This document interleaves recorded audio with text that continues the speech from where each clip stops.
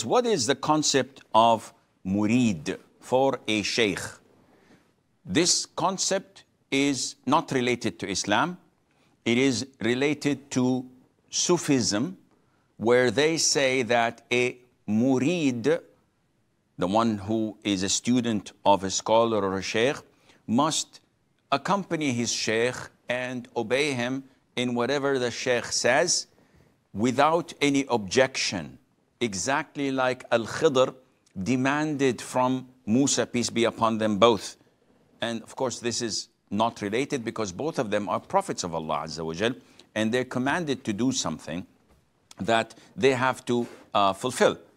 So the Sufis say that a murid has to be within the command of his sheikh, his, his master, his teacher, his scholar, exactly like a corpse is helpless when the person is giving it the ritual bath after death.